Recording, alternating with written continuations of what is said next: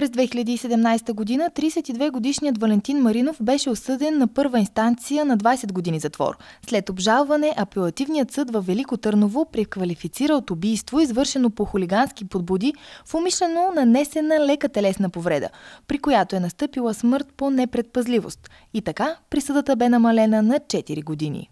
Сега ние всъщност ще искаме да се върнат тия хулигански подбуди, защото съгласете се, че няма как да не се водят хулигански подбуди при условие, че 8-9 човека са били и на няколко пъти. Те, те в показанията си казват, че първо са го ударили с бутилка, разправяли са се, след това пак са го ударили.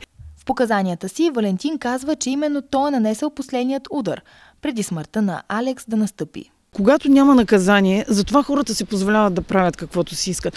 А, защото когато няма наказание, нали, всеки знае, че може да извърши каквото и да е, няма да бъде наказано. Или пък поне ще бъде наказано с някаква минимална присъда.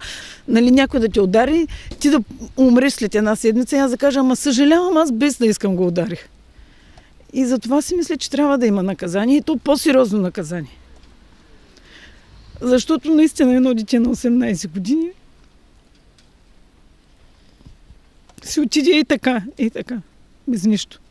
Близките на 18 годишния Алекс настояват за поне 20 годишна присъда за Валентин Маринов.